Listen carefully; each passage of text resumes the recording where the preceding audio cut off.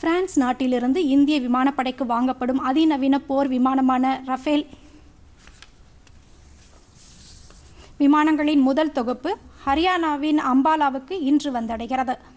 முதல் கட்டமாக ஐந்து ரஃபேல் போர் விமானங்கள் அம்பாலா விமான நிலையத்திற்கு வருகை தந்து விமானப்படையில் இணைக்கப்படும்.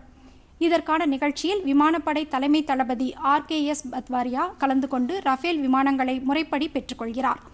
ஐக்கிய அரபு எமிரேட்ஸின் அல்தாப்ரா விமான நிலையத்திலிருந்து இன்று காலை பதினோரு மணியளவில் புறப்படும் ரஃபேல் விமானங்கள் அம்பாலா விமான நிலையத்திற்கு பிற்பகல் இரண்டு மணியளவில் வந்தடையும் என்று தெரிகிறது. வானிலை பாதிப்பு ஏற்படும் பட்சத்தில் அந்த விமானங்களை ஜோத்பூர் விமானப்படை தளத்திற்கு கொண்டு செல்லவும் ஏற்பாடுகள் செய்யப்பட்டுள்ளன. ரஃபேல் விமானங்கள் வர இருப்பதை முன்னிட்டு அம்பாலா விமானப்படை தளத்தை ஒட்டியுள்ள கிராமங்களில் நூற்று நாற்பத்தி நான்கு தடை உத்தரவு பிறப்பிக்கப்பட்டுள்ளது.